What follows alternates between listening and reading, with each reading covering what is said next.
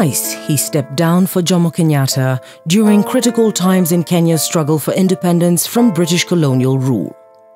For his deference and loyalty, Kenyatta would always have a special regard and a high position in his government for James Gichuru. James Stanley Gichuru was born in March 1914 at Thogoto, Kikuyu, in Kiambu district. His parents sent him to Thogoto Primary School and Alliance High School. He was at Alliance in the days of the founder principal Reverend G.A. Grieve, who had opened the school in 1926. From Alliance, Gichuru went on to Makerere College, Kampala, Uganda, then the only institution of higher learning in East Africa. He graduated in 1934 with a diploma in education and returned to Alliance as a teacher for the next six years. Some of the students Gichuru taught at Alliance would, like Gichuru himself, go on to serve Kenya in important positions. They included Jackson Angaine, Oginga Odinga, Charles Njonjo, Jeremiah Nyaga, and Ronald Ngala. In 1940, Gichuru was transferred to the Church of Scotland Mission Thogoto Junior Secondary School, becoming the school's headmaster two years later. By now, Gichuru had developed an interest in politics. In 1944, he, Harry Thuku, Francis Hamisi, Joseph Otiende and WWW Awori set up a new party, the Kenya African Study Union, KASU, whose name would later be changed to the Kenya African Union, KAU, with Gichuru as president.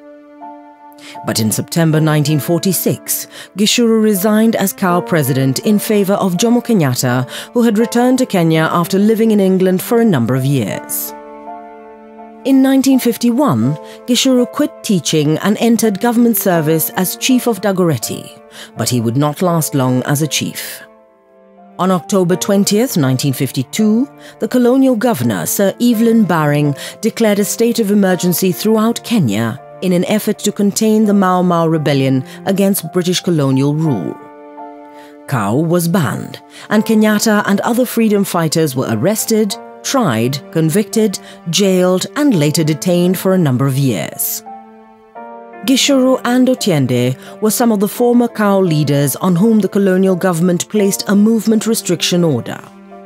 By the time the restriction order was rescinded in 1959, some of the measures his old party KAU had fought for had been achieved. There were now 14 elected African members of the Legislative Council, or LegCo, and soon the colonial government would allow Africans to set up new political parties. Gichuru became interim president of one of the new parties, the Kenya African National Union KANU, on the understanding that he would step down for Kenyatta when the latter was released from detention. Kenyatta and other detained freedom fighters were released in 1961, and on taking over as president of the party, Kenyatta would lead KANU into a series of victories in the elections that preceded Kenya's independence on December 12, 1963.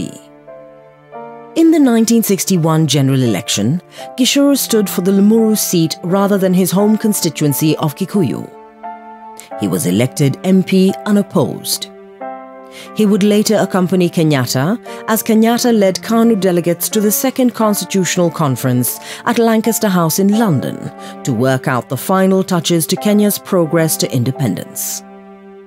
In the May 1963 general election, Gichuru was again elected unopposed for the Limuru parliamentary seat. Elsewhere, KANU had a resounding victory, winning 83 of the 124 seats in the House of Representatives.